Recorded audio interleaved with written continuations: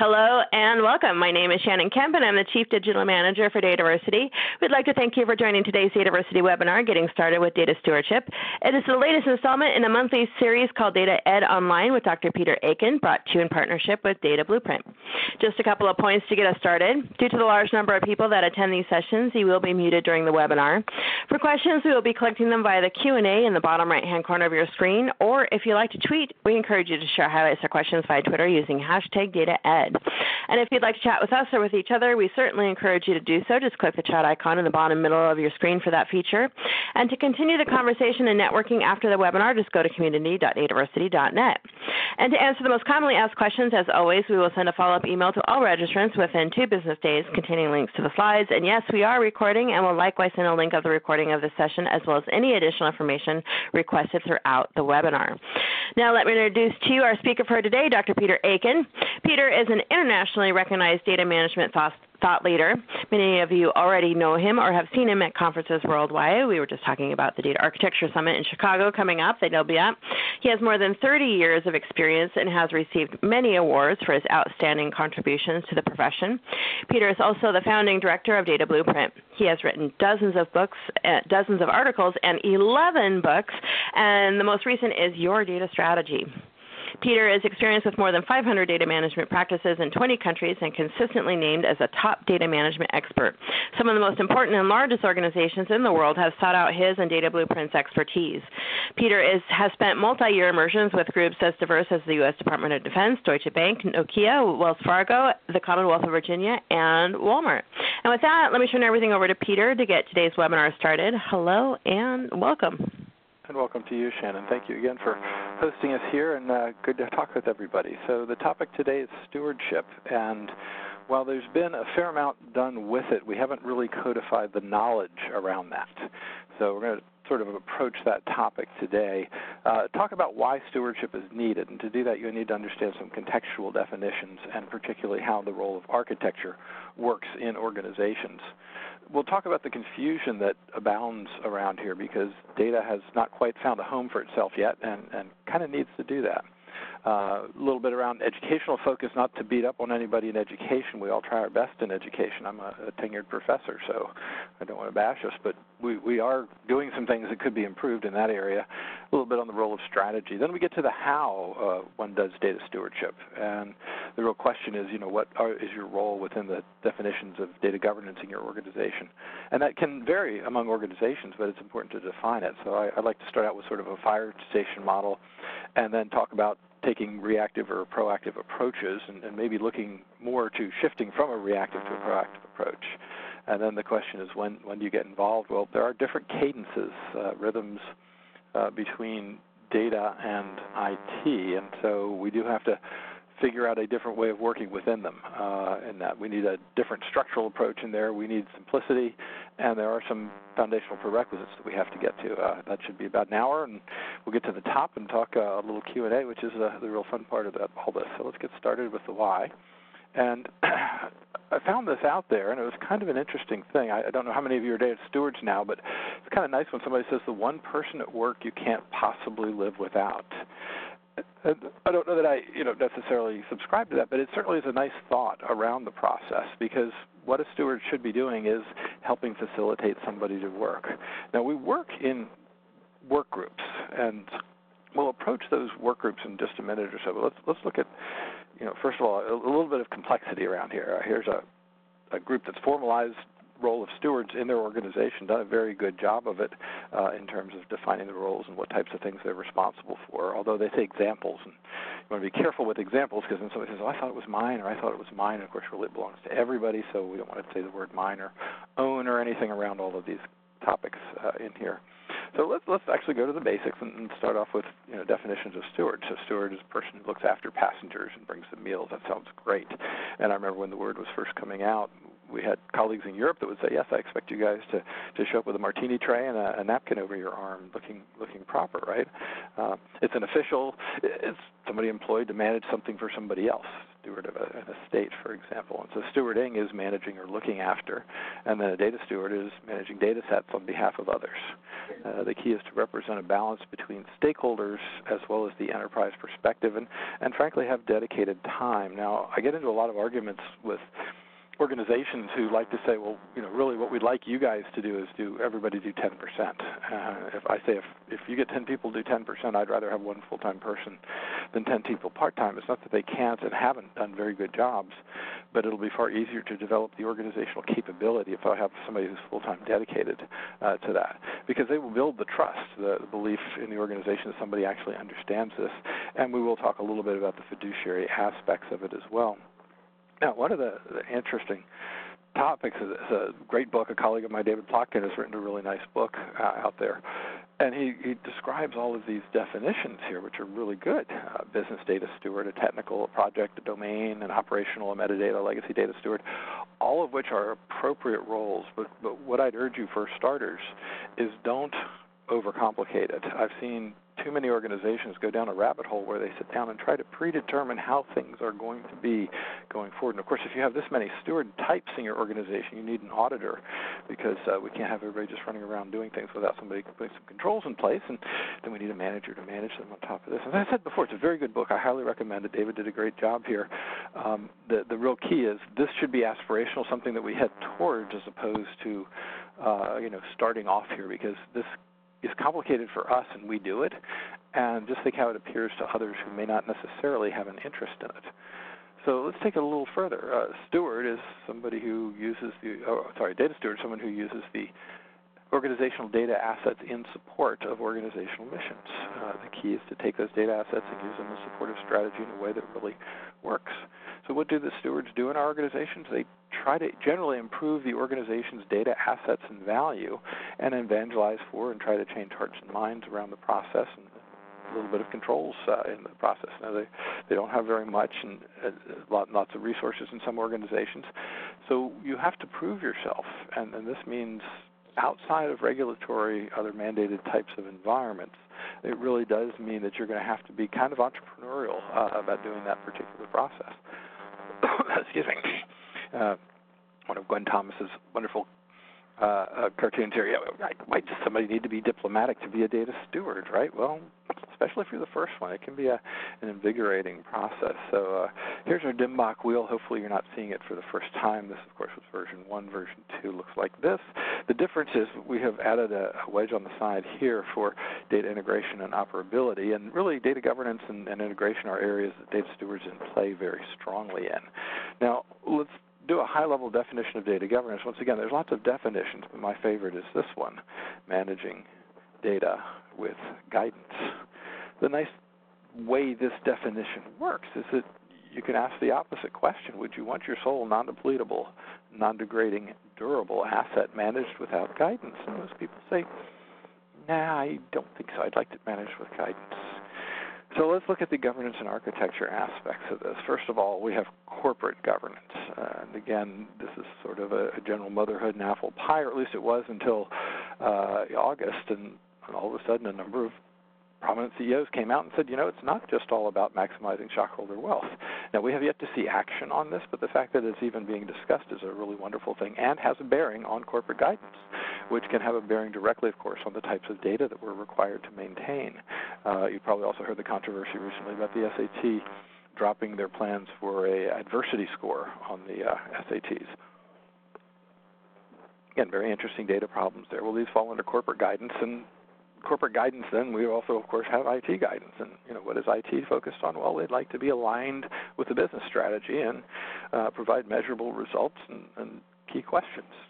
Uh, there are five areas that they recommend strategic alignment, value delivery, resource management, risk management, and performance measures. So, great stuff. We're, we're very pleased with all of this. Let's shift our topic a little bit and talk about architecture. Now, most people haven't done a lot with architecture, but it's it's really a, a, an excellent craft for data people to be able to work with. And most of you are actually quite good at it already, just may not have done it. We're talking about abstracting things to the level of things the function of those things and how those things interact. I'll turn the volume down there, that's a little bit too loud. And, and why that's important, again, things, the function of those things, and how those things interact. Why is that important? Because all organizations have architectures. The question is, has it been documented? If it hasn't been documented, it's hard to be widely understood and therefore useful. So once we can document and understand this, then we can start to become useful in employing our data assets in support of organizational strategy. And of course, we're really talking about data all the way around, so I'll just insert the word data and all of that, and the same thing is still true. Let's take a quick look at some organizational architectures just to give you some practice with this. These are sort of funny, but sort of true. Amazon, traditional structure, Google, team of three. We know they've changed around. This is old, obviously. Facebook, do we really have a structure? Microsoft, eliminate their own products. Apple, everything revolves around run individual, and, and Oracle buys another company and, and subsumes it into the beast. So these are ways in which you use architectures, and all of them, you know, have sort of interesting pieces. But organizations manage architectures in general, processes, systems, business, security, technical, of course, data and information. Now, if they consider, if they consider you just doing technical committees and they don't understand what the technical committees do, this is a problem, leading, of course, to the lack of understanding. Because what we're trying to create here with our efforts as stewards is better clarity around data. Data measurements, data utility, data sources, all things data. And so stewards are going to become expert in these areas. Now, let me take a, a quick definition of information architecture, and you'll see the role stewards play. Uh, we have some very good definitions that are out there. My favorite, of course, is mine, which is common vocabulary imagine you're trying to explain to an executive on the way up in an elevator what an enterprise architecture is useful for for that individual's organization. And if you describe models and diagrams and things, yes, that's okay, yeah, right. If you say I provide a common vocabulary, they go, yeah, I have a lot of problems with people not speaking the same language in my area, and it puts sand in the gears, slows things down. And of course, there's always been confusion because IT has always thought that data is a business problem. If they can connect to the server, my job is done is a quote we've all heard from IT many times. On the other hand, business clearly thinks IT is managing the data. Why else would where else would it be taken care of? So data has fallen into this enormous chasm, and we need to repair that partnership between IT and the business, and that's really the role also of data stewards. Oh my goodness, you didn't know what you were getting into here. A quick Dilbert just to divert us. The committee decided that the file naming convention will start with the date in order of month, year, and day. Of course, those of you that are following carefully know that we've already screwed up by not putting in a standard way of describing date time, which means it will be difficult to access in the future. Next panel. And then a space and the temperature at the airport, the hat size of the nearest squirrel. To be perfectly honest, it was a long meeting and we probably didn't do our best work toward the end of the meeting. Knowledge workers, the people who make up our work groups, the people who, with whom we all work, they're not taught about data. Again, my definition of a knowledge worker is somebody who works with data. 100% of them should. Worse still, we for decades have people taught people one thing about data as part of their IT curriculum, which is how to build a new database. If there is a skill we do not need any more of on planet Earth, it is how to build a new database we could use some skills around how to work with existing databases. So that would be great. So question is what impressions, not just on the people who learned this, but also the people who went through and became managers of, of other people, they get the idea that we don't need data people on these projects because we're not building a new database. I'm doing ERP. That's not a new database, is it? Or I'm migrating things. That's not a new database. So I don't need these data people in here. And literally, they have they've fallen in terms of what they used to do for the organization and what they're currently asked to do. And the result of all this is a bunch of really smart people who just are not knowledgeable about data and they make bad data decisions, which results in poor treatment of data assets and poor quality data, as well as poor organizational outcomes. So how are we going to fix this? And most importantly, it's not so much how are we going to fix this, but what approach are we going to take this? So let's talk about the role of strategy because everybody wants to do strategy now. You may be saying, why are data stewards involved with strategy? Well, you're a key player in this role. Data strategy provides you focus. Over time, we've used the word strategy more and more. but that's mainly because the business groups have picked up on it and started to use it. There are lots of long and complicated definitions of strategy and, you know, parts of a document and templates that you can download off the internet and things. I prefer things simple. So Henry Mintzberg has a definition I like, which is a pattern in a stream of decisions. Now, why is that important? Again, remember a few minutes back I was describing to you all the way in which you need to present information people in ways they can understand it here.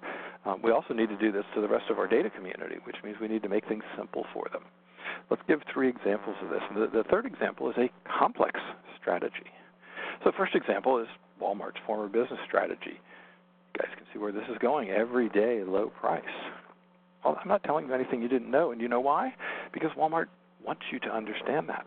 They, every person who did business with them, who worked for them, who had a family member that was associated with them, understood. And more importantly, this became the default mode of operating. It became part of the DNA, the corporate culture of the organization. If you make a decision you make it in favor of the customer receiving low price, you made the right decision. That's comforting for people to work with. And that Walmart uses um, culture very, very well to its advantage in the marketplace here. Second definition of strategy, excuse me, second example of strategy. Wayne Gretzky, great Canadian hockey player. He skates to where he thinks the puck will be. You're chasing a huck around, which is a hard piece of plastic that weighs a little bit, and you're hitting it with large sticks. It's going to move very fast. And if you chase it, you'll always play catch up. So he doesn't play catch up. He says, I'm going to change the game by going to where I think it will be. And if I am where I think it will be and it comes to that place, I will be in position to become the greatest scorer in history at the time. Third example strategy Napoleon at Waterloo. He's facing two armies. The army in red is the British, the army in black is the Prussians. And they're bigger in combination than Napoleon's French Corps. So, question How do you defeat the competition when their forces are bigger than mine? The answer is divide and conquer. Let's look specifically around this. First thing that this strategy is still taught in military history books uh, today because it is a brilliant strategy. Uh, it didn't work, but that's a different issue. Um, lines of supply were one of the things that you look at when you look at an army because if you push the army back, they're more likely to run towards their food than away from it. I don't mean that just statistically, but there's obviously a biological function that works there as well. Same thing here. So the, the Prussians were provisioned out of Liege and the British were provisioned out of Ostend, you can see they are miles apart and in opposite directions. So Napoleon's theory was divide, and let's do that.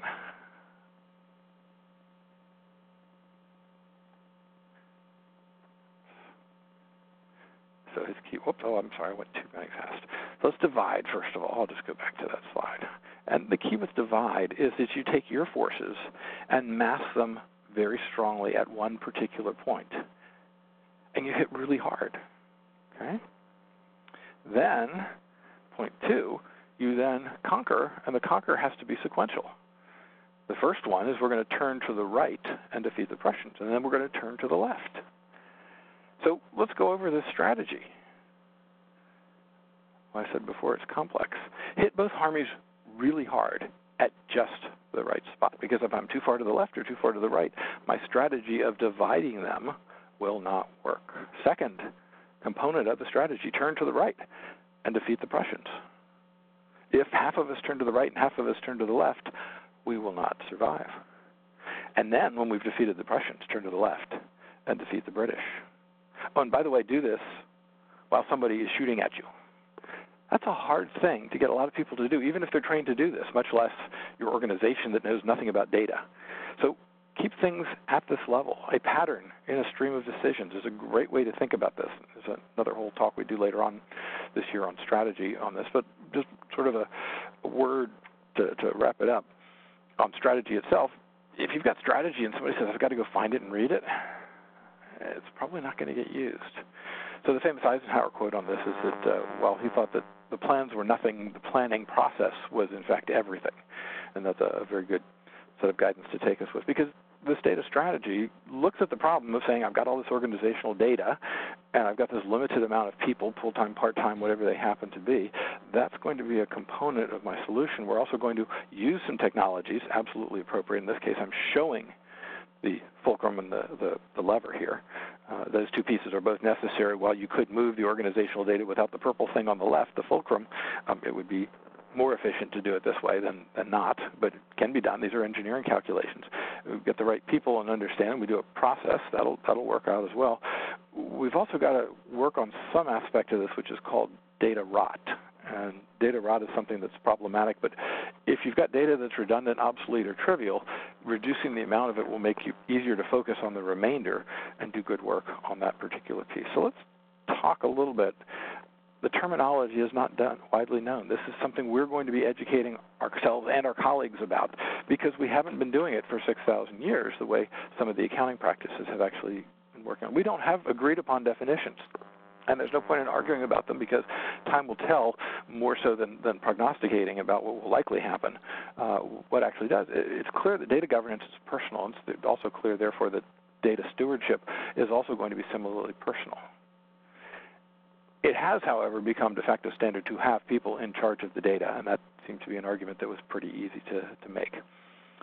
Stewards work very effectively with architectural components. They help us do a number of different things, and we'll talk about those in just a second. Strategy focuses steward leveraging activities. While there's lots of things we could do, which are the things that if we do them correctly and now will actually result in what we need to have? So that's sort of our first section on why. Let's now talk about how stewards actually work.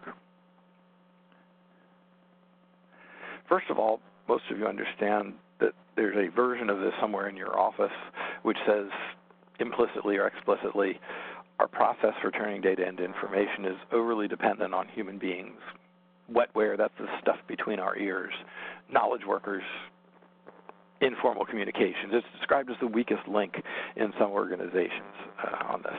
And the, the simple fact of it is that organizations don't know what data they have, they don't know where it's at, and they don't know where the knowledge workers do with it. And that, while presenting additional sources of risks, also include efficiency components on this. Work groups are what get done. And data stewardship happens currently at the work group level pretty well. There is some issue with if everybody's learning on their own, you're pretty sure they're not using a standard, and if one standard is better than another, then there's no opportunity to gain efficiencies from doing things the same way. But nevertheless, we can we can move towards that, and, and that's certainly a, a, a thing to think about in there, because right now people are doing informal practices. Only one in ten people that are using Excel know that there's a capability for doing what you're doing in Excel perfectly every time, automating that process called macros. One in ten people just give you an idea of the, the, the opportunity we have for uh, improving efficiencies in that area. But the real value of all this comes from making cross-work group connections work more smoothly because when we're starting to go back and forth across things, that's where you really realize that the data chaff becomes sand and it prevents smooth interoperation and exchange or it slows them down. Most organizations experience kind of a death by a thousand cuts but it's been difficult for them to account for them. They just know it's not working the way it should. And that's because organizations and individuals lack the knowledge and the skills in those areas. So I've already mentioned this for starters. First thing, as a general thing that stewards are doing, is that they're helping people to understand that better organized data increases in value. If you have trouble illustrating that point to people, take a book and remove the spine, so it's just a bunch of pages, and then mix the pages up and hand them to somebody and ask them to enjoy their read. Um, they will not. Even the set that you're giving them actually has page numbers all the way across it, which is kind of cool, but not as good as it could be if you hadn't taken the spine off and messed up the paper. Yes, better organized data increases in value, if nothing else, because your knowledge workers will be able to find what they're trying to find faster. And if they're finding it faster, that means your organization can spend time doing the things it's good at rather than on routine description time. With uh, Tom Redman calls them hidden data factories. It's a good term. Poor data management practices are con- costing organizations a lot of time and money, and the only argument I get with this statistic is that it's not 80% for our organization, it's 90%. Say, what is rot? I've already mentioned it once redundant, obsolete, or trivial data. And if the data is redundant, obsolete, or trivial, why would you want to maintain it at all? My wife corrects me from time to time and says it's actually riot because it's redundant, incomplete, trivial, obsolete, and she's correct But I already put rot out there, so we'll have to worry about that. The question is just like in advertising dollars, which 80% can I safely eliminate? By the way, I'm not advocating going out and eliminating 80% of your data without proper stewardship, but uh, it is something that, uh, again, a good high goal to take a look at. So yes, redundant, obsolete, trivial gets in the way, and the remainder makes it easier to focus our efforts as stewards on improving them by making them more understandable and also making descriptions about how they're used in the organization also understandable. There's lots of other things that go into it as well. But greater quality data gives us more engineering leverage as we're trying to do whatever it is our organization does. Whether nonprofit, whether you're in the, the government, or whether you're in the private sector, there's still a mission, and that is important to take into consideration. Because integration, the process of our disparate working groups working together without these information architecture components is not possible. And maintenance of these components also then promotes greater reuse, which means that data sharing is becomes exemplified by the ability to use information as a strategic asset. And there's lots of examples of that that are that are really good. We won't go into a bunch of them here, but you can certainly get lots of uh, webcasts that, that do this and describe it in that sense. Data is the most powerful, underutilized, poorly managed organizational asset. It's the only resource that you have that is not depletable, not degrading, durable over time at the strategic level. Data assets really do win when you compare them to other data assets. And yet, people talk about them incorrectly. Data is not the new oil. Don't let people think about it that way. I don't mean correct people in public, but you don't think about oil as a reusable commodity. You instead think about it as something that you use once and don't use again. And that's not the way to think about it. It's not a production function, it's a cultivation function that we have to think of it as. A good way to think of it is just to change one letter in that previous statement and make it the new soil. The idea is that you plant things in it and you don't just throw seeds on the ground, but you plant them in a prepared plot. And then you don't plant things on Monday and expect to eat them on Friday. It doesn't work. It takes time. Uh, on the other hand, data is usually sold as bacon, which is really fast and sizzly and great, but data does deserve its own strategy. It deserves attention that's on par with similar organizational assets, and it deserves professional administration to make up for past neglect. Now, let's look at data strategy in context in here. organizational strategy is developed. Our purpose in data is to support organizational strategy. Governance is about that process, and strategy is an essential component for data governance. What the data assets need to do right now, not forever, but for a defined period. Let's say for the next 30 days, our focus is going to be. This is the type of thing you need to do to address the challenges that you have in data. It, again, You've already seen it starts off generally with lots and lots of information out there that you have to winnow down to support uh, and get more of, but still, what the data assets do to support the strategy. And then the feedback from the governance group is how well is data supporting the strategy? That seems reasonable. Um, in Peter's world, you uh, also have domain over IT projects and how that supports strategy, but that's a, a different argument. Let's not get into it right here, but fill out the picture with a couple more feedback loops. And I would never show most people that big diagram. I'd keep it kind of simple here. Uh, in particular, when most people think about data strategy, they really need to be thinking about specific business goals. So, ways that we, as the data stewards of the organization, can harness resources around us, including ourselves, to support the attainment of business objectives by better using the data that's in there. And our language in governance, which means the stewards will be metadata, so they will talk.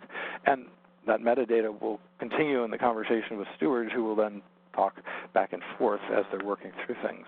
Now, let me give you a little bit of guidance around the process of starting a stewardship organization. First thing to do is to understand the role of frameworks, which is just a system of guiding ideas, a way that you can organize the project data, uh, priorities, decision making, a way of assessing progress. These are all good things simple things that are kind of obvious in this example. Don't put up the walls until the foundation inspection is passed, right? Or, put on a roof as quickly as possible because winter is approaching and our folks that are working on building the, structure, whatever it is, will be cold.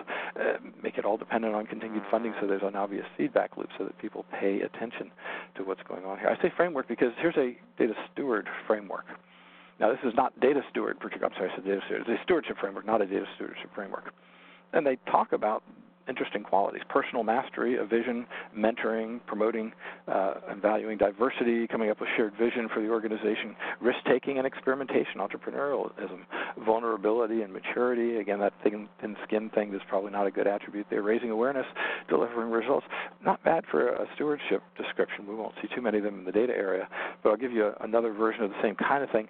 Stewards need to be thinking that there are specific data challenges that will help us use organizational data assets to better support the mission and strategy of the organization.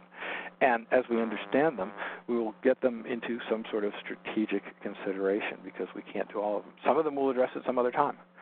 Sorry, just got to put them in the bucket list and, and get to them. We can't do it all. We can't do everything at once. We can't spread ourselves too thin. We've got to be concentrated and do a couple things well.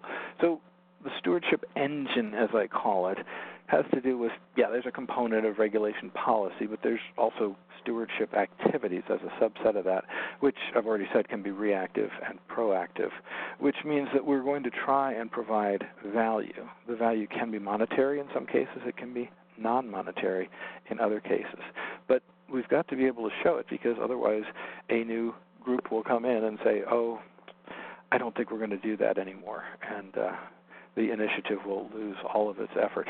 And of course, over time, we'd like that value to be seen greater and greater, which means part of that stewardship piece needs to be building good articulate business cases so that people know what good work that you're doing and understand how it fits in with the rest of the organization. Let me give you a little bit more context and talk about your data community in general. Yours may or may not look exactly like this one, but I think the general components are recognizable to most groups. First of all, there is IT, and they provide the bedrock, the foundation. I'll put it in a standard 4 by 4 matrix. On the left hand side of the red line, uh, that is vertical, the domain expertise will be less. They won't know as much, they'll need to learn more. On the right hand side, the domain expertise is greater. The roles are more formally defined on the left, and the roles are less formally defined on the right. Both of those things are true.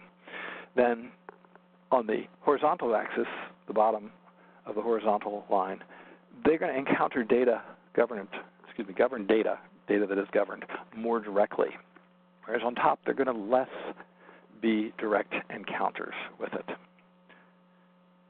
I hit the wrong button and started over. Sorry, guys. Give me a second. I'll catch right up. And our last set of encoding here is that below the line, more time is dedicated to this process, and above the line, less price, excuse me, less time is dedicated to it. So, what have we got? Well, we've got leadership components. These are people that make decisions about data, and this is really their role. The problem is, most of the time when they make these decisions, they don't realize that they are decisions about data. So, that's part of our job is to educate them around there. Then there are the stewards, group we're directly addressing today, these trustees of the data. And let's, again, let's not try to divide up all of our data amongst the three stewards that we have, or 30 part time people that we have let's instead focus on a couple of areas and, and get good with those areas and show that investing a full time person in these three areas is quite well worth it from the organizational perspective. And, and that'll give the incentive for more. But because if we try to do everything and spread too thin, we will accomplish, of course, nothing. Working with us a lot are the participants, the experts, the data subject matter experts that are part of the fabric of how it used. It's the gentleman with the SQL server under his desk that doesn't want IT to find out that this is how he's doing the logistics work that are working, or somebody with a unauthorized Amazon account that is doing things. And then there's others. They're all data makers or consumers in one form or another. So that's our universe. And let's now talk about, in this case, what some can define as a leadership group. Um, this may not be again for you, but some groups have said leaders and stewards will be part of the enterprise data group. Others include stewards and participants. Doesn't matter. But the, the role of this group, whatever you define it as, is to provide resources because we need to have some sort of programmatic sustainment. This cannot be done project by project. It's got to be programmatic. The data makers and consumers will provide data and feedback. Some of it will be directly to the leaders, some of it will come through other folks. The leaders will make decisions, and the stewards will figure out what action needs to be taken by everybody else, what changes need to be made such that we can better use our data in support of strategy for this particular example. Again, more feedback comes through those ideas, the stewards should get some ideas and provide guidance to the leadership. uh, in there. A little bit of a, a, brief tour over it, but hopefully that helps you understand. And, and, really, probably the best thing to do is take a perspective. Maybe you're a data leader listening to this and trying to figure out how to stand up a steward group. Hopefully, this gives you an idea of, of the way to do it. But let's let's talk about another idea that also is working in the data steward community. Yes, that's right. It's your local fire station. Now, everybody knows the typical role, which is the Dalmatian on the hood of the, the fire truck and rushing to save people's lives and put out fires. And absolutely fantastic stuff. And then there's the downtime as well. But they don't always sit at restaurants or buy food or or play pool or whatever. What they also do is a lot of education. And it's a great model to watch. How the firefighters spend their time is a good way to think about it. I'm not suggesting that you go on 48 hour nonstop shifts. That's not what I'm suggesting. But the mode that they use to operate, which is part reactive and part proactive.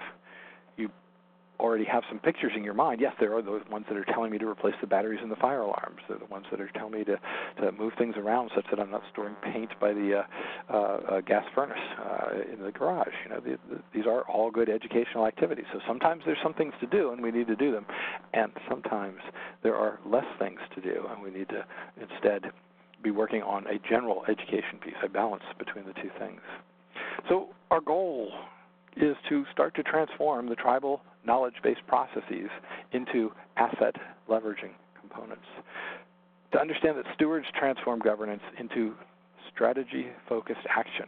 We're trying to do this. Can't be everything. Apply a framework to your tasks and get good at both reactive and proactive activities so that you can now start to incorporate your own direct leadership, but also leadership around the organization such that they understand that you are a resource. Because remember where we started, your best friend at work is what the steward should be. Know that you can't do everything. It's just impossible. There's been too much um, poor treatment of data over the years and too much redundancy to, to, to make it possible for anybody. And it's scary when you talk about people and say the time to correct these may take years and in some cases decades but it is still worth the effort. So the key is to get focus correct. The wrong question is not how should we manage this data, all of it, and trying to get it right, but the right question is should we include this data item within the scope of our steward practices for the next round that we're trying to do? Because if you just do stuff and don't have a repeatable process, you can't measure things and improve things. Some of you will see where I'm going when you get to that. Let's keep going. Another wonderful way to think of it is the MacGyver model. If you haven't seen a MacGyver, I think he's on YouTube now. Um, could fix anything with a piece of uh, scotch tape and a paper clip. Uh, and there's going to be a bunch of that. And the best thing that you can do as stewards is become part of the steward community. There's a fantastic organization called the Data Governance Professionals Organization and the Data Dataversity community that's there. So that's sort of some of the how. Let's dive a little further into what I call the when, and it's not what most people think about. So, for example, in organizations without stewards, uh, again, you've got two strategies. Your stewards can improve organization operations, or they can innovate, and there's no problem.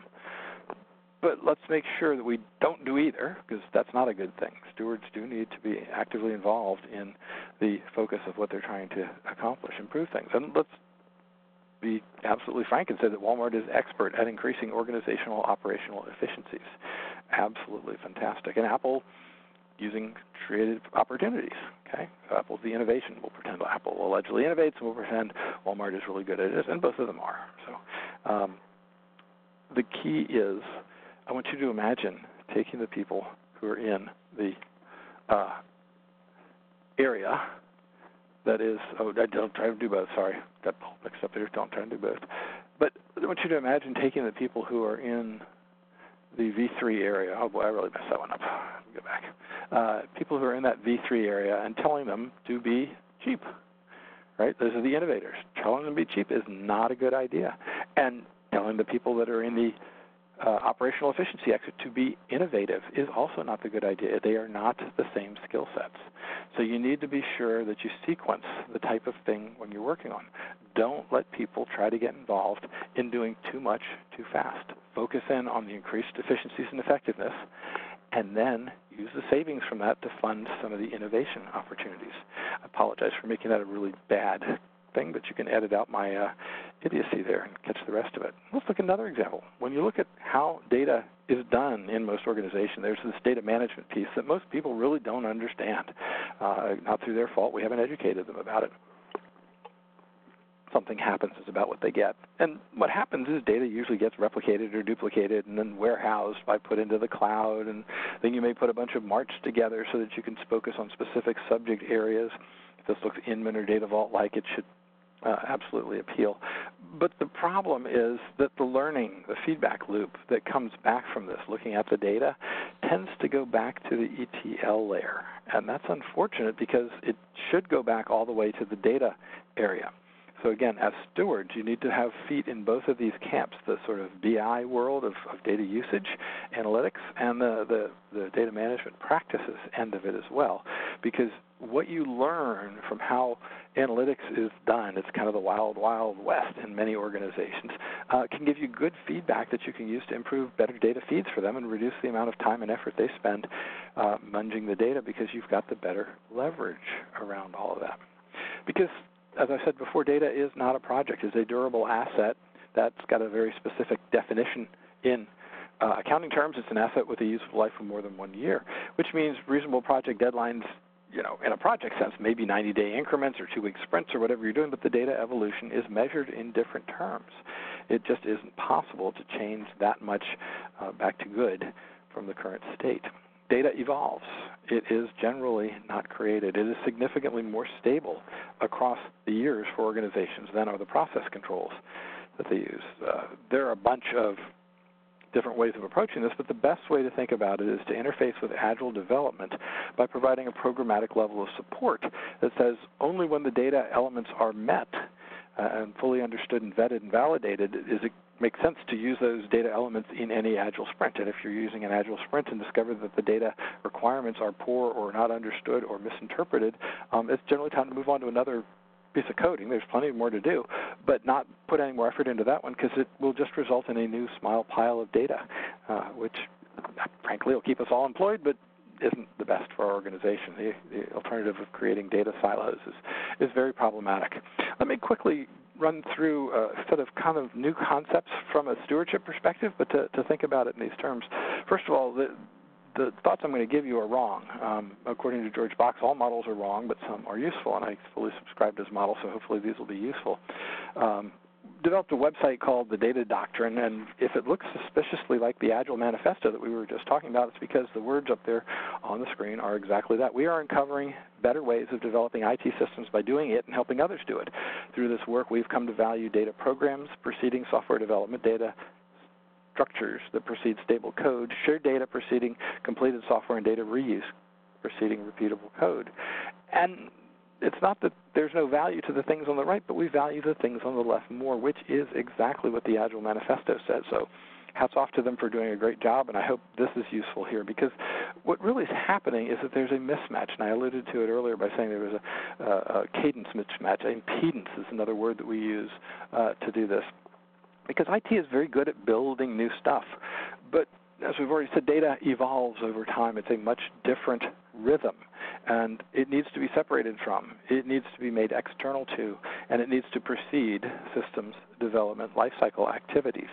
If you do not, the only result is more small piles of disintegrated data. Again, guaranteed employment for all of us, but uh, we, would like to do better. So data management and systems development must be separated and sequenced. It just does not work. Uh, the data doctrine is out there. If you're interested, we'd love to get in the dialogue with you on that. And I'm going to close this little short section with an agile joke. Wait, you're going to perform surgery without putting me under?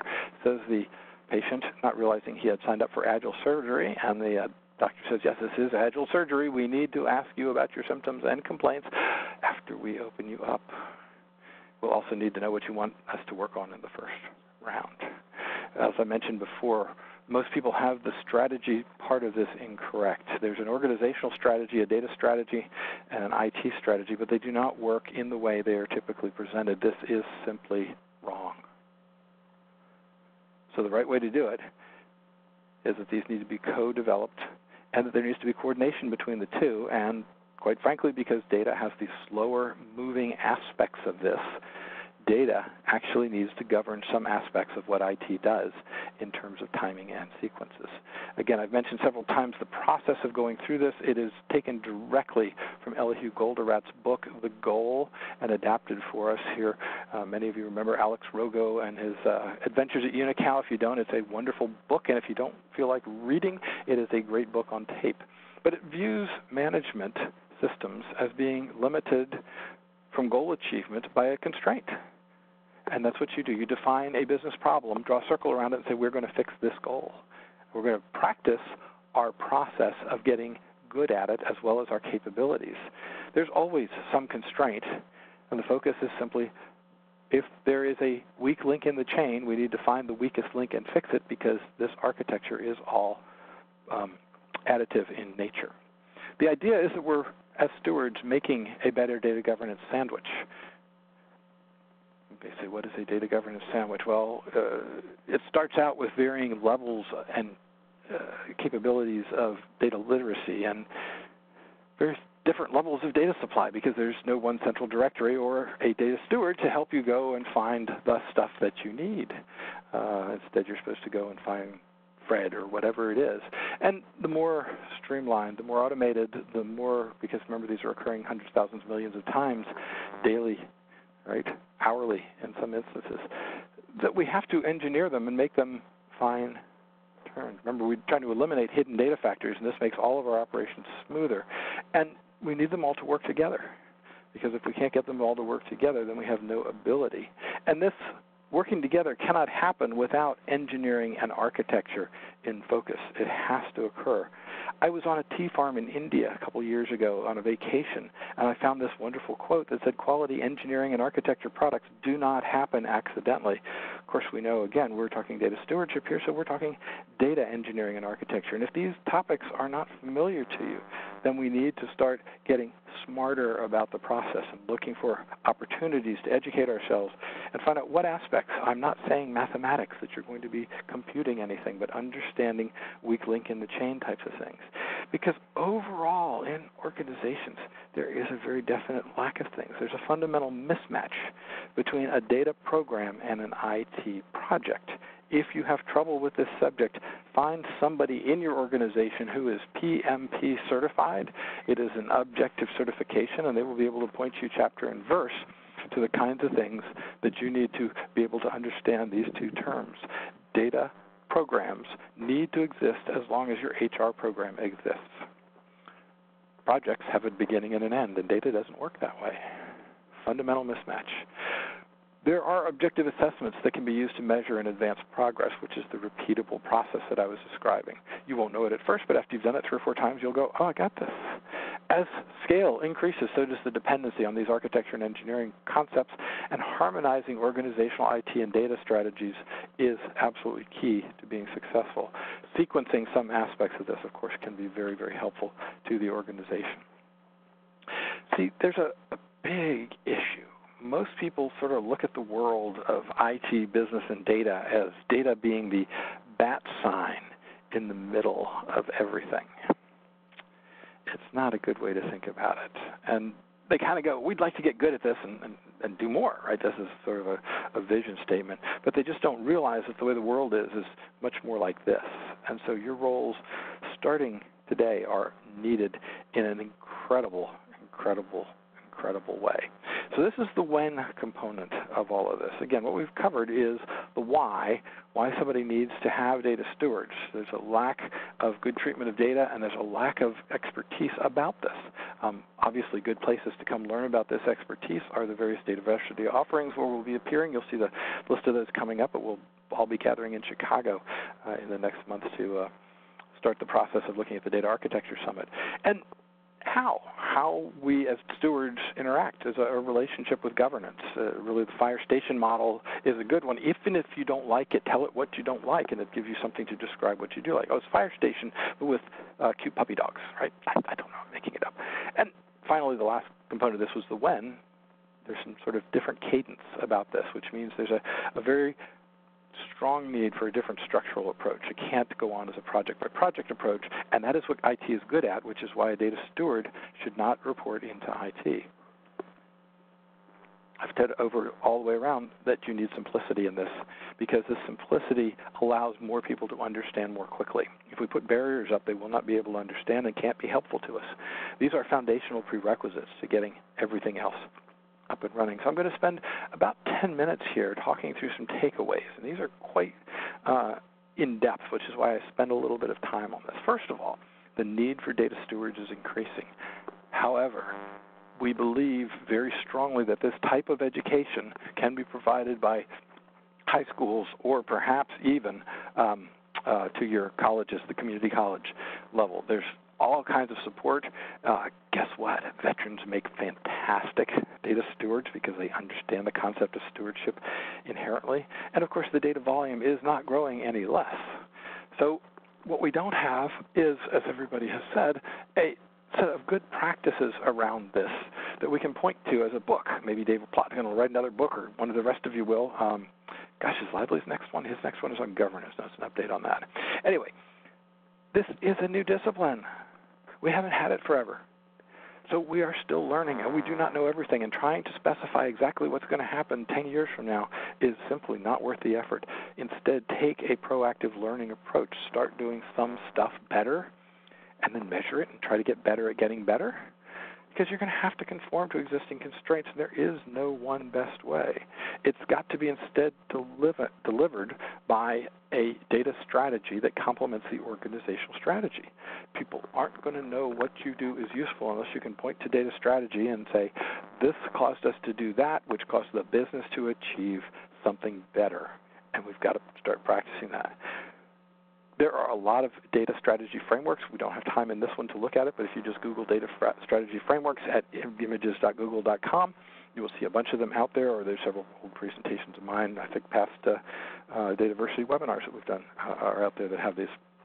But anyway, there's there's a bunch of them, and the idea is not for you to adopt any or all, but to try them on and say, how would this work in our organization? IBM's data governance model may not give you as much as another organization's approach to it, and this gives you the opportunity to try it and see what works conceptually. Data stewards direct data management efforts. Oh, no, no, they just advise. No, who's going to do it if you don't? Especially if you don't have a program. They are the first, most important component of your data program. They're visible. In the Commonwealth of Virginia here, we literally called them Commonwealth Data Stewards and gave them badges. It was a fantastic move. It helped us to make sure that everybody understood that data steward language is metadata, that we need to speak in specific controlled vocabulary items, or more importantly, make sure that we start to turn them on and off, kind of like on the record, off the record kind of thing. Yes, this is a controlled word, which means we all know what we're talking about in here. If that didn't make any sense at all, ask a question at the end, but that's a, a an aspiration rather than a starting place for you. And finally, there's really good aspects of process process improvement that can benefit data steward practices. People say, wait a minute, why should data stewards get involved in processes? So let's just take that as a, a quick side piece if we're going to simply improve new controls, this is going to make the water that is coming into the lake of better quality. How long does it take to wash out all the old stuff? Answer a long time. So we've got to do some other things, and literally, this is low hanging fruit in most organizations because most organizations spend 20 to 40 percent of their IT dollars focused specifically on IT waste. It's moving data, it's evolving data, it's improving data. And it just doesn't need to happen, but nobody even uses the techniques to understand this anymore. Called a data flow diagram. It is not taught as part of the uh, curriculum, has not been taught as part of the curriculum for many, many years. So people look at this tool and go, wow, why didn't you show this to me earlier? anyway, obviously I'm giving away my age and grumpiness in terms of sighing like that because I'm married to an accountant and she looks at me and says, You mean you people don't have your act together? And I said, Well, we're not 8,000 years old. She said, Okay, it's all right if you're currently immature, but if you're not trying to improve the immaturity, then you're just whining. Don't whine. Good, no problem. But let's be real your data is likely a mess, and it requires some professional ministrations to make up for its past neglect it's not just that you haven't changed the oil in your car for the past 10 years, but you're still driving on the same bald tires and the same worn bearings. and you've never tuned up the engine, so you're a mess to the environment. It's a hazard in many organizations. Don't be hysterical about it. It doesn't help any, but realize that. Because you can't just say everybody's got to do it better because they don't know what it is. That's your job as a steward, is to show them specific examples of how doing things differently, just small, simple things differently. Let's not get the data from here, let's get it from here. Or more importantly, maybe we'll put you on a subscription service so that you'll have it delivered to you and we can verify receipt. Right? These are all really interesting ideas, but your folks don't know right now, which means you're the expert. If that scares you, um, look at it as an opportunity. The glass is half full rather than half empty. It is likely that you will need a new business data program, underlining the word program there. It's not a project. You're not given a 90 day initiative to go out and fix things. These cycles, the theory of constraint cycles that I alluded to and described in that one chapter with um, the picture of the book on it, those are projects, but it needs to exist in the context of a program because disjoint projects in data are not helpful. It requires a synergy, a critical mass. It is a step function. You do not dabble in it. You go straight forward. Because data strategy, information management are the major components of what goes on in data. And you are the people who are tasked with doing this. You need to do three things in concert, collectively. You need to improve the organizational data, taking specific, concrete steps to move forward in measurable ways, writing it down as a success process for your own protection. Because if you don't put it down, it doesn't work. Now, I'm going to do a quick side note here and bring my mother into the picture. Why the heck not? I've already uh, called out my wife, so let's bring mom into the picture. Mom was a purchasing manager at Planning Research Corporation, which is a DC Beltway bandit for many, many years. And as the manager of purchasing, she always kept metadata about how well she was doing. So people would come down and ask her, and she'd say, Look, here are the industry averages, and here's how we do against the industry averages. And they'd go, I guess you know what you're doing. And she said they never bothered her, which is almost amazing in a corporate environment, in an area where it's subject to re engineering time and time again, going through that process. Anyway, back into here. Improve the organizational data improve the way people use the data. They haven't been taught how to do it. Their PhD may be in statistics, but that doesn't mean they understand application of data. They understand algorithms, not the practical sense of it. You'll hear this said every day that all of our really good data people spend 80% of their time munging.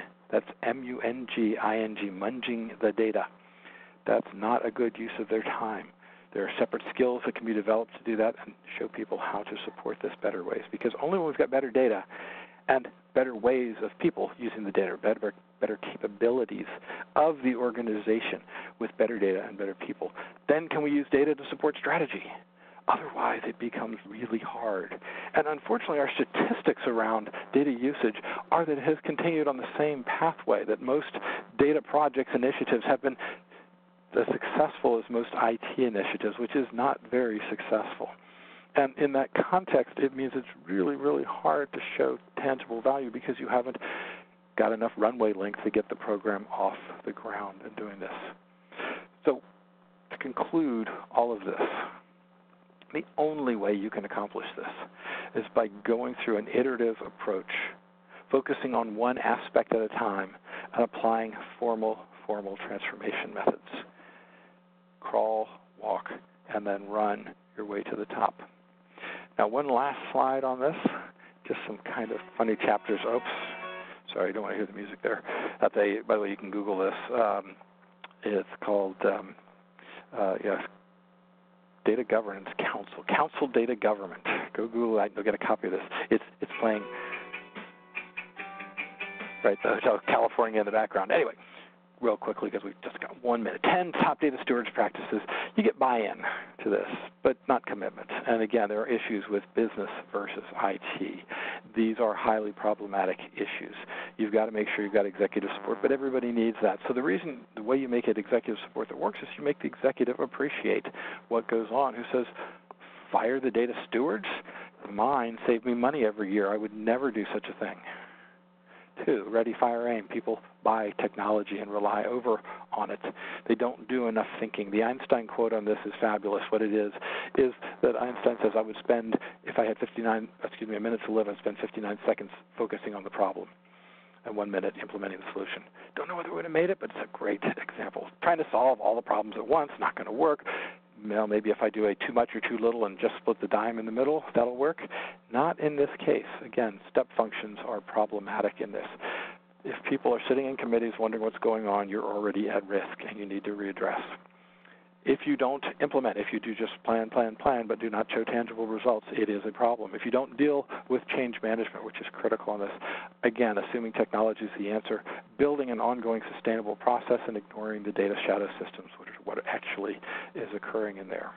So as Shannon mentioned before, we've got a bunch of upcoming events, Data Architecture Summit in Chicago, uh, October next month, and Data Governance Vision in D.C. in the 9th or two uh, really good events. We're going to do three-hour uh, activities of those ideas, Data Architecture Bootcamp and Rekindling Data Governance. And Shannon, I will shut up because I went 28 seconds over.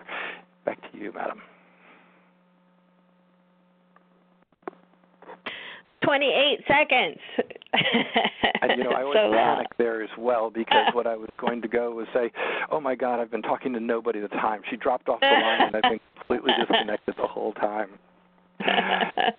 Yeah. Uh, uh, no, we, we, would have complaints.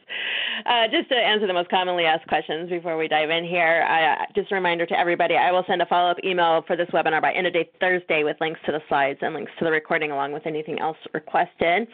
Uh, so uh, kick us off here, Peter, in our research community's compliance data warehouse, we use a crowdsourcing model of data stewardship.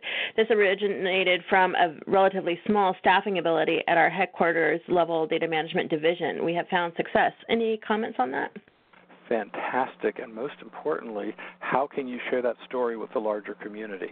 Because there are wonderful crowdsource opportunities. State government, in particular, is very, very good at this process, but there's no place for us to go to find out. So I can guarantee you, 10 people on this. Um, uh, uh, webinar are going, oh, I want to find out more. Put your details in the, in the chat part and, and move the discussion over to communitydataversity.net, and, and that's what we want to do. So that I hope is favorable comments. Uh, beyond that, it's an excellent way of doing it. It still relies on volunteerism, but gosh, there's a lot of enthusiasm in our community, which is wonderful. Absolutely. You know, and and the a follow-up question to that, you know, with this uh, with this approach, is a formal data stewardship position something that we should consider for the future? Uh, yes. So what we're trying to do with data stewardship as a practice is to have people who literally are expert in the data. They may not understand algorithms. These may not be data scientists, but what they do understand is the context, where our data come from and where it is being used. And they understand how the organization does it and how important it is. So if somebody says, well, I'm going to turn that off for 24 hours, they go, uh, that's $6 million in sales. Do you really want to do that? Again, I'm making up an example here in order to do that. But the idea is let's keep this focus on things that are tangible because if it's all academic, it looks like a science experiment to management, and we most definitely do not want that perception. Love it. So, any suggestions on how to get data stewards that are assigned by functional areas to think outside of an application and only on a data level? I love lunch and learns. Do them all the time. We tend to all eat lunch. Sometimes it's fun to sit and listen and learn some stuff.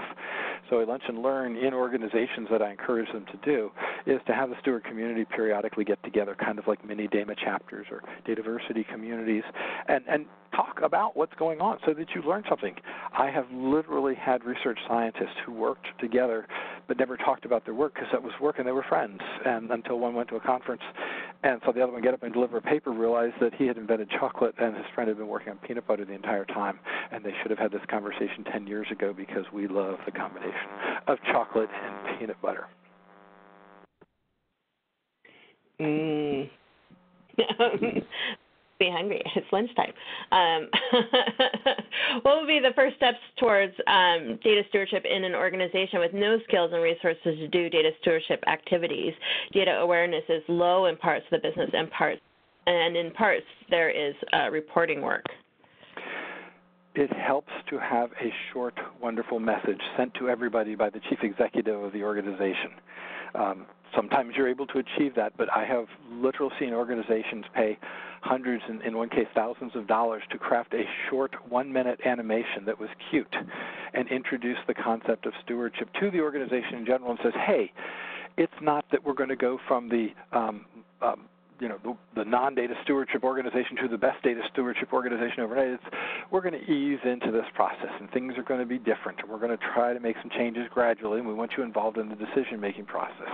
All of that can be crafted into that one-minute message, but it probably takes 59 times that one minute to come up with content that is useful and, and, and, and digestible by your organization. See, governance and therefore stewardship is personal to each organization.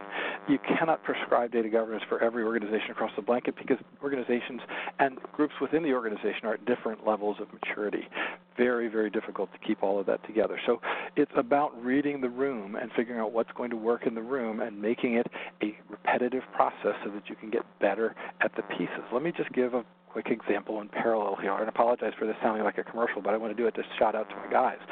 So at Data Blueprint, we have a number of product service offerings that we do, and we know how long it takes us and how much effort it produces to do this. And if we go and do X amount of work, it costs the customer Y and is a mutually beneficial transaction.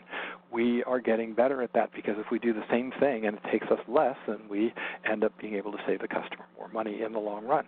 Well, this is the same process stewards are involved in. It's very entrepreneurial, particularly at first, because we don't have industry wide numbers that say organizations with data stewards did 20% better in X than organizations without because we haven't got even a baseline to measure what X is, much less what the actual improvement is that over time. I went professor on you there, Shannon. Sorry, but that's a, a great question, and I hope that answered it. No, it's it's great. Um, always love the longer answers and, and details. Um, and do you have recommended preferred metrics to measure the success of data stewardship within an organization? you just queued that one right up for me, didn't you? No. Um, we have surveys that say how many organizations have stewards, but comparing them is, is, apples and oranges. We just do not have a basis for comparison. Um, again, many of the leading components are registered, and you can search Dataversity for other topics. There are a number of my colleagues that do really excellent work in this area. I've mentioned Dave Plotkin already. There's lots of others that are really good about this. But no, we have not come up with this definitive set of measures, and that's a problem. Accountants can look at how long it takes to close the books each month, right? Just imagine if they only close the books every once in a while, infrequently, without warning. That would not work out really well, and that's probably closer to what our data world works like.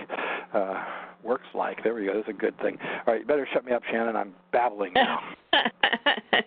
or can you do like improved uh, data quality or uh, such? Gosh, you know, it's funny. Yeah, great suggestion. So, so again, a stewardship outcome can be we have data that is of poor quality. Um, actually, I can tell you a story for the very first time here because I just got permission to use it. I have a friend named Mel, and uh, she's a data steward for a, an organization. And the rest of the group to welcome her in said, by the way, as the data steward of this organization, you now gain control of the data set that sucks. And Mel kind of went, boy, did I get lucky in this new job, thinking to herself, this is not a good move.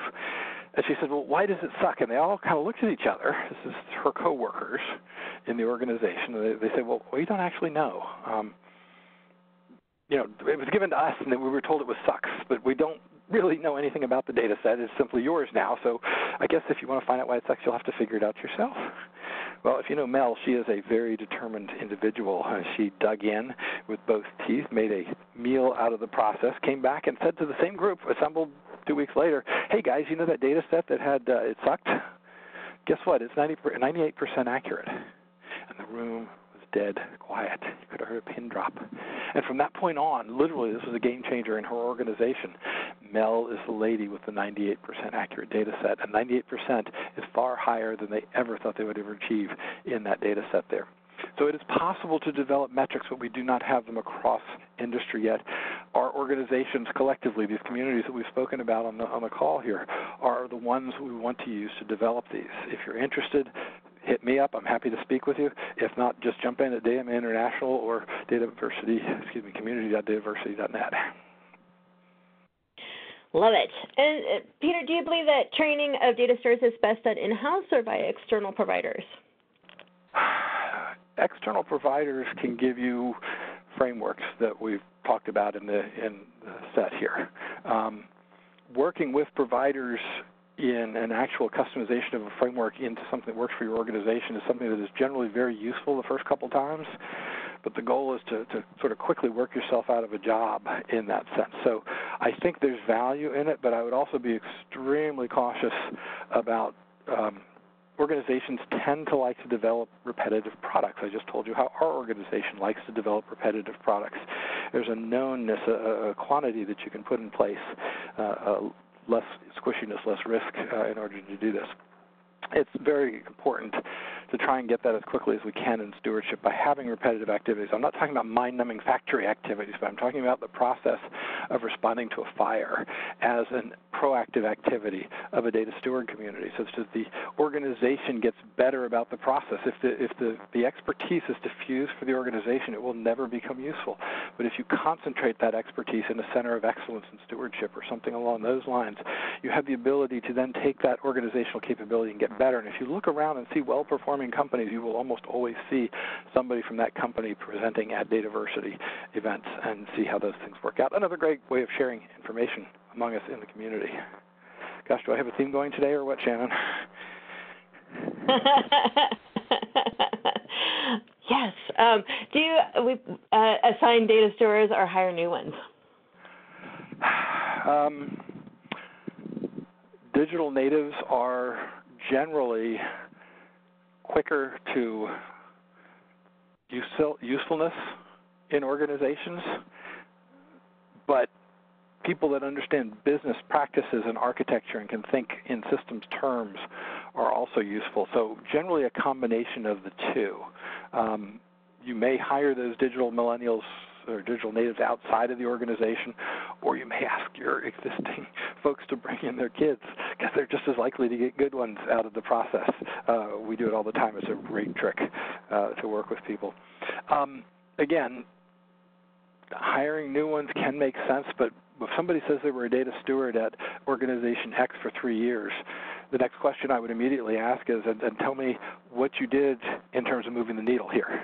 You know, what were the tangible accomplishments that prevented you from, uh, you know, becoming redundant, as the British say? And listing those out will be a very, very strong sign that the individual is focused in the direction that is likely to produce good results for your organization. Uh, absent that, uh, you may have somebody who, who likes to sit around and, and have conference calls and, and you know, do things, but really our, our goal as stewards is to move the needle. It is not to sit around and pontificate. Ah, now I've cast aspersion of professors, right? it's a great word, pontificate. Um, what is the functional difference, if any, between data stewards and data coordinators? Okay. Stewards can perform a coordinator role, but that's a limited subset of stewardship. Coordinator implies that one is actively gaining access. And this may be an instance of your organization has customized that more so than the general population. But coordination implies, you know, somebody needs something, you help get it done. Stewardship would also bring into the picture whether it should get done. Uh, ethics are a very strong component of stewardship. I should add that to this deck uh, and put it in there because that's that's bad on me to leave it out stewards have a fiduciary responsibility, and that fiduciary responsibility is key to driving the stewards in the right direction. Now, it's not that people are always going to do the right thing, but at least stewards will make sure the question is incorporated into the process, and that is critical. Great question. Thanks for prompting my memory on that.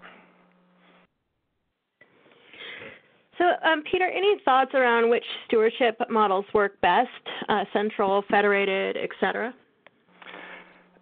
you know, we we had a a paper that was very famous in the uh, late 1980s about whether centralized data processing was better or worse than decentralized. And then, of course, the answer is a uh, Tversky answer, which is the, the, the idea is under which circumstances is it best for which organizations. And I think the, the answer to these three models that you've described is not going to be A, B, and C, but they, a federated model is more complex to administer and maybe is appealing to organizations as a second step after they've gotten their feet wet by involving a limited pilot scope and learning some lessons in private instead of in front of everybody else uh, to do that. Um, again, trying to say a best way is that each of these have strengths and weaknesses, and your job as experts in your organization and in your organization's data is to try to figure out how can each of these models improve the way I apply my data to the organization's strategy and save lives, save money, whatever it is, improving effectiveness and efficiencies.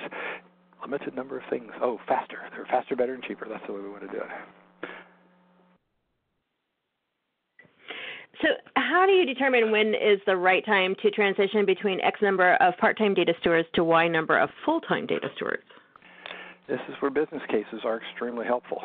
The process of saying, I've got and again, I'll use an extreme example. This is probably not correct for your organization, but many organizations are challenged with a variant of this.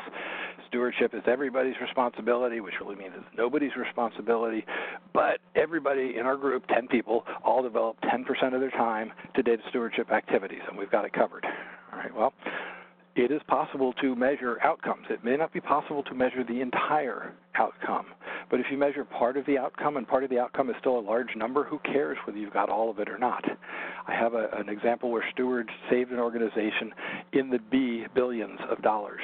They are heroic within that organization. Uh, great story, you have to save it for some other time. But the idea here again is what can we do by building a case? By focusing in on something specific that allows us to produce value from the organization. Because otherwise, uh, again, just an industry statistic, half of the chief data officers that exist today currently have no staff or no budget. It's a problem either way. And we are still not where we need to be in terms of being able to effectively do our job. So it's we're trying to do more with less. But if you measure the output from these stewards on the part-time basis, and then request permission or don't request permission lie and say, I've got somebody working full time for a year and compare the numbers, I think you'll find that the increase in productivity, the increase in organizational capabilities is noticeable from the full time concentrated effort. Because, first of all, it gives you as a steward somebody to work with. And you generally, if you're both motivated in the same direction, will be more productive as a team than you will as an individual. And that other individual can now learn the process as well. Anyway, long winded answer, but hopefully that gives an approach. Uh, most definitely. Uh, and if you, if you, have questions, we still have 15 minutes. You know, uh, feel free to submit them in the Q&A section in the bottom right-hand corner of your screen. Uh, so, Peter, in an organization where data stewardship does not exist, how do you identify and assign data stewards? That is a great question. So, you can try, of course, the overall process of saying, well, you know, we need to develop a data stewards organization, and it's, you know, it's a big, big issue, and we got to really think about it, and you know, let's all get together and, and, and figure out what we're going to do and all that sort of thing. It's hard. I've worked with a lot of organizations from zero to one, right? And and to get there, and then truly, actually, just for full clarification, it's not zero to one; it's one to two. But from one to two, but you know, one being we have nothing, and, then two meaning we're at the lowest level of the framework, the maturity curve, uh, on all the measures in there. The idea is getting that started. Is people say it's working now. Why should it be a problem? And then what I tell people is that what we're selling in the data steward community, and really in the data community as a whole, is shoes. But we're selling shoes to a population that has never understood the concept of, cl- of, of putting something around your foot. So we get to places. I go outside and I step on acorns and stones and gravel, and, and my feet are tender, and over time they get stronger, and I can go further. I occasionally cut myself, but you know we get things done. And, and I'm over here in the corner, the shoe salesman, Al Bundy. Anybody get that joke?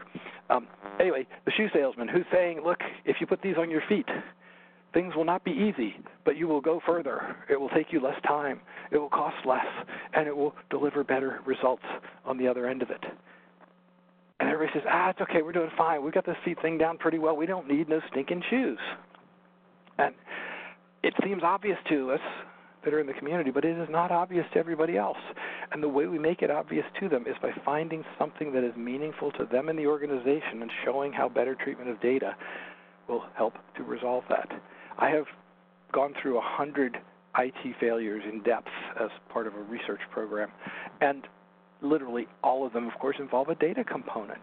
And even if it's just a subcomponent of it, it's still a lot of data problems that could be solved by a more unified approach. And that is what we are lacking, but we're moving in the right direction, trying to coalesce the community around these ideas. So, Peter, we plan to hire analysts for full time data stewardship and use the data office as an incubator for their data training. They will participate in uh, an accredited program and work with in agile teams. Do you know any examples of success uh, and any lessons learned? I have uh, about 10 organizations right now that are attempting the experiments that I've described to you on this about working within the Agile context. But the first piece of this has to go to literally the definition of the word program and the definition of the word project.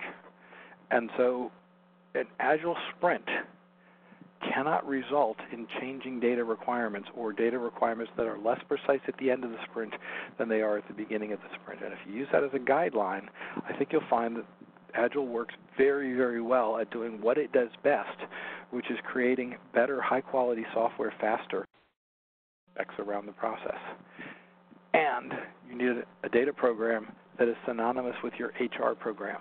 After all, nobody in your organization says, we've done a whole bunch of data around here. I'm sorry, we've done a whole bunch of hiring around here. I don't think we're going to hire anybody else, right? We, we just we're done with it. HR people, you guys can go find other work that's uh, you know within the organization, but we don't need an HR function anymore.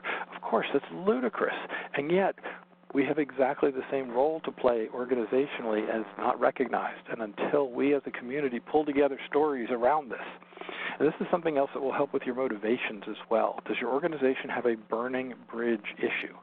Many organizations have an oopsie. Uh, you know, Equifax, for example, uh, a little oopsie there, or uh, Marriott Hotels, right? Lost my passport number.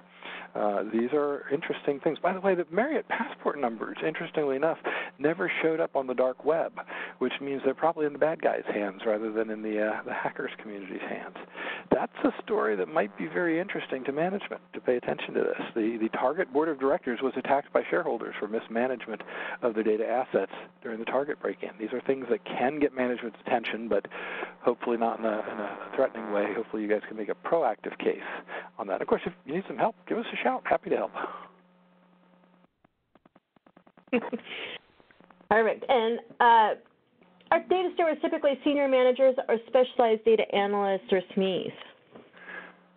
Well, it's of course the typical answer of it depends, but let's go back and look specifically. And let me pull the chart up, and if you'll reread the question to me again so I can fixate. Sure. Oh, there we go. So you guys will recall I was just babbling and had, you know, the way we define this, IT is the pillar, and we've got some attributes of each of these, but uh, they, you know, fall different areas within here, and here's our four pieces up here. So again, leadership, stewards, participants, experts, and other sources and uses. Shannon, the question was? Yes, so our data stewards typically senior managers or specialized data analysts or SMEs? And again, that's going to vary from organization to organization. There is not a standard practice. What you will find in organizations is that they are people who are passionate about this. Larger organizations decide that stewards must resign at a job classification level, so then they say, well, only if you manage 10 people can you be a steward, and you know, other arbitrary rules around this as well that aren't really enforced by any good scientific basis for doing this. Um, your data stewards should be the people that you trust to manage data as an organizational asset uh, in support of your strategy. And they should make sure that actually gets done. They are not necessarily the doers, but they are the people that are making sure it gets done. If we put a RACI matrix up, you'd see how that works, but I don't have that slide prepared. So could be senior managers, but I've seen organizations where the stewards actually reside out on the field and, and, and, and are fairly uh, low. The, the key is who are the people that need to be acting as trustees. And that trustee implies a fiduciary relationship, and that fiduciary relationship puts them in the class of accountants, of lawyers, of um, other people who have to, health professionals who have to uh, protect information. And Peter, can you recommend a certification in data stewardship? I know some companies have certainly created their own. I'm um, aware of a specialized con- uh, um, governance stewardship certification for the um, uh, government uh, that is run by a private company in conjunction with the ICCP. DAMA also has some certifications that are available. Um, again, what we're lacking overall is the official decision as to what is a standard around these areas. That's a community discussion that simply hasn't occurred yet. Um, what I would look for if you're seeking private uh, assistance in that area is that they draw from what are clearly the um, uh, ad, uh, excuse me a priori standards in the field, which is the data management maturity model from CMMI and the um, uh, DMBOK from DAMA in those areas. If they're not using those, uh, I would really question what is the basis for uh, the certification uh, in that. For example, just a couple interesting ones, but there's a, uh, a certification for chief data officers out of George Mason University. George Mason is my alma mater. I'm thoroughly pleased with that. I think it's out of the public policy school as opposed to um, you know, perhaps a data engineering group of expertise in there. And, and, these are going to influence these choices, which is what's going to make all of these things work within the organization uh, to the degree that it actually works with what you're trying to do. Anyway, hopefully that made sense. You, you tell me if it didn't make sense, right, Shannon? If I was just sort of word salading um, over here. Yeah, and and I know um, that they that the community here will uh, let you know if it doesn't as right, well. We love that. That's very helpful, guys. Uh, you know, typos and slides even are, are useful. Sure. Our community is not shy. um, so there's yeah, one person in uh, my org that is doing data governance, working with a group of service line leaders to build a dictionary. How can we show value? I think this should be multidimensional to show value. The value in a dictionary is not showing through.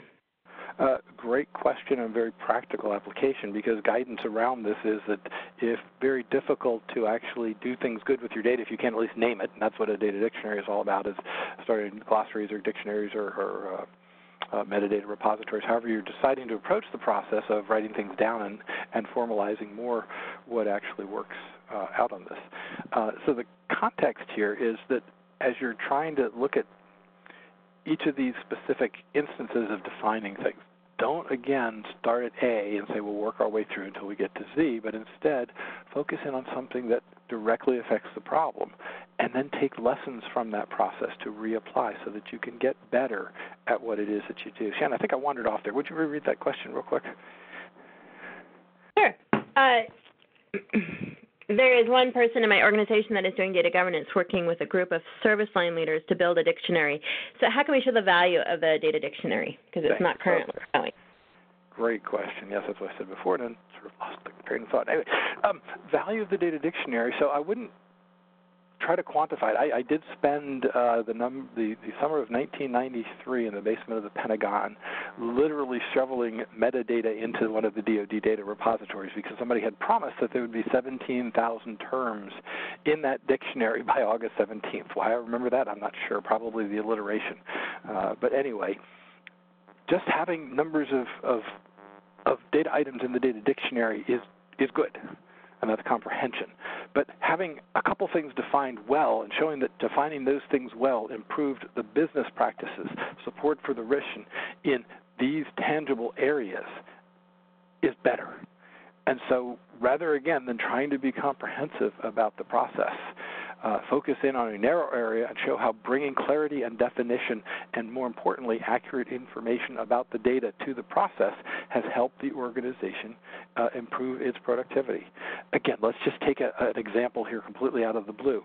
If law enforcement understood that facial recognition software had a 10% misinterpretation for many types of individuals, they would be probably more careful about its application.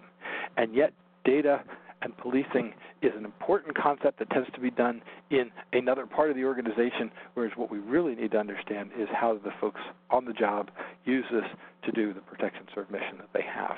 Does it make sense? 10% of errors here, I would be a lot more careful about what's actually happening if a 10% error was done. Now, interestingly enough, you can Google this and find out that they did it for the um, I believe it was the San Francisco Board of uh, Supervisors, and, and came up with those statistics. And they did it, I think, also for the U.S. Congress, and got similarly disappointing statistics. It's not that facial recognition doesn't work, but it has its strengths and its limitations, and needs to be used and understood in this context, which, as I said before, also gets us to some ethical considerations. But gosh, Shannon, we are almost at the half hour, so I'd better shut up, or you will get frustrated with me and just pull the plug on us. Right? All of a sudden, we'll just go quiet. Beep. Indeed. Well, that does bring us to, to almost to the half hour. I don't know that, we can get. There's a couple other questions here, but I don't know that we can get to them in less than a minute here. Um, so I will pass those on to Peter. Maybe we can get some a couple of uh, written answers for the follow up. And just a reminder, I will send a follow up email uh, by end of day Thursday for this webinar to all registrants with links to the slides, links to the recording of this presentation, along with Peter's information as well. And uh, continue the conversation and networking, as Peter has mentioned, and uh, you can go to community.net. And thanks everybody to uh, to all of our attendees for being so engaged in everything we do. Uh, I just love it. I love all the networking back and forth and the communication you guys have going on. is just the best ever. And we have a full see, fall ahead of us. Oh, I love it. It's awesome. And we've put together the uh, 2020 series already, so I'm cool. I'm excited for that. All right. Well, thank you guys for participating in this, and thank you, Shannon, for hosting us as always. Thanks, Peter. Have a great day. Thanks, all. Sure.